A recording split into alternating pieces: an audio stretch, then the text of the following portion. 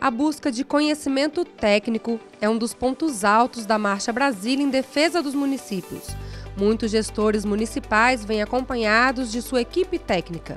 É o caso do prefeito de Piraquara, no Paraná, Josimar Fross, que lidera o município com 120 mil habitantes. É muito importante essa abertura que a CNM dá aos municípios para que a gente possa trazer os técnicos, porque são os técnicos é que nos orientam. É, geralmente a gente diz que a administração pública é composta metade técnico, metade política. Mas os técnicos, sem dúvida alguma, se eles não orientam bem o político, o político, a tendência é não aproveitar e fazer um bom trabalho, assim, dentro da parte capacitação e tudo mais. São sete arenas com os mais diversos temas da administração local.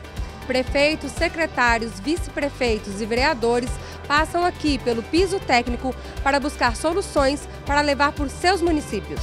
Já o prefeito de Novo Oriente de Minas, em Minas Gerais, Normandes da Costa Jardim, veio acompanhado de um secretário e busca acompanhar um pouco de cada temática.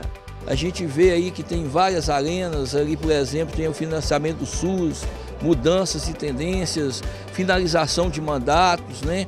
obras inacabadas e etc. Então, tem de estar acompanhando para saber o que fazer de acordo com as normas da lei, principalmente observando a Lei Complementar 101, que é a Lei de Responsabilidade Fiscal. Em seu último ano à frente da gestão de Indaial, Santa Catarina, o prefeito André Moser escolheu participar da arena que trata de orientações sobre o último ano de mandato.